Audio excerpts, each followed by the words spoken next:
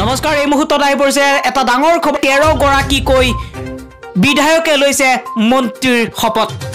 আৰু এতিয়া আপোনালোকক দেখুৱাইছোঁ কোনে কোনে শপত গ্ৰহণ কৰিছে আজিৰ এই শপত গ্ৰহণ অনুষ্ঠানত। তেৰগৰাকীকৈ বিধায়কে লৈছে কেবিনেট মন্ত্ৰীৰ শপত গ্ৰহণ। আৰু এখন ভাল কেবিনেট গঠন কৰিছে নতুন মুখ্যমন্ত্ৰী হিমন্ত বিশ্ব শৰ্মাই। নতুন পুৰণি অভিজ্ঞতা আৰু নতুনৰ উদ্যমৰ লগতে নতুন কেবিনেটত দেখা গৈছে অসমৰ বৈচিত্ৰ্যৰ মাজত ঐক্যৰ চানেকি। আৰু তেৰগৰাকীয়ে লৈছে এইবাৰ কেবিনেটৰ মন্ত্ৰিত্বৰ শপত গ্ৰহণ আৰু তাৰ ভিতৰত আছে ৰঞ্জিত কুমাৰ দাস।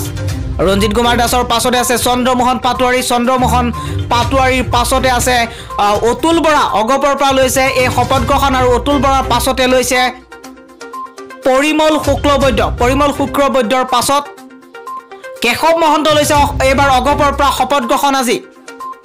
তাৰ পাছত লৈছে পীযুষ হাজৰিকা।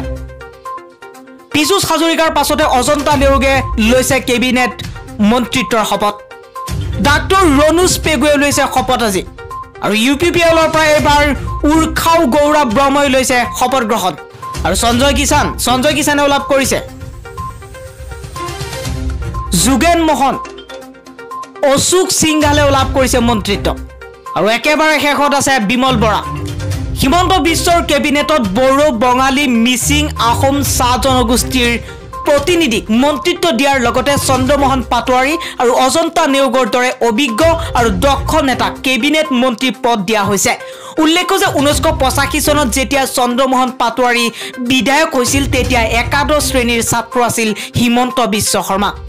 প্ৰাক্তন কংগ্ৰেছী মুখ্যমন্ত্ৰী তৰুণ গগৈৰ ঘনিষ্ঠ অজন্তা নিয়োগে স্থান পাইছে হিমন্ত বিশ্ব শৰ্মাৰ কেবিনেটত। একমাত্ৰ মহিলা মন্ত্ৰীৰূপে স্থান পাইছে গোলাঘাটৰ বিধায়িকা অজন্তা নেওগে। তৰুণ গগৈ চৰকাৰত একেলগে কাম কৰিছিল হিমন্ত বিশ্ব আৰু লগতে অজন্তা নেওগে।